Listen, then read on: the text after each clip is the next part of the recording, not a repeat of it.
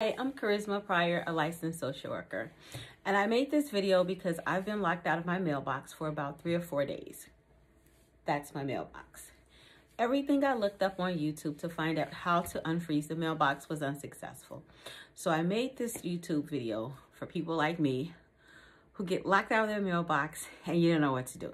So you'll need a couple things. First of all, you're gonna need a nice warm hoodie, a nice warm hat, some warm gloves, an extension cord, indoor, outdoor preferably, a really cool dryer, hair dryer, and some splash de-icer. And of course, you'll need your trusty mailbox key. So the only thing that I did was I dressed warm.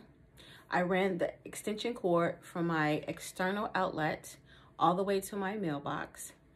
Then I plugged up the dryer and I pointed the housing of the dryer directly over the mailbox key entry.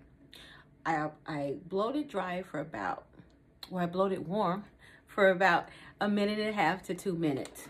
And voila, I then sprayed it with some splash spray to make sure, you know, that it was really filling it. And then I put in my trusty mailbox key and voila, my mailbox door opened. So that's all it took. I've got my mail. I'm very happy now.